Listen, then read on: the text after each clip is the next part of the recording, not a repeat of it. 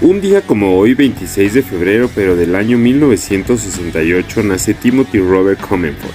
Es un músico estadounidense mejor conocido por ser el bajista y corista de la banda de rock Rage Against the Machine y los supergrupos Audioslave y Prophets of Rage. También ha sido el cantante principal y bajista de las bandas Future User y Wack Rat. Ocupó el octavo lugar en la lista de la revista Pace de 20 bajistas subestimados en el año 2014.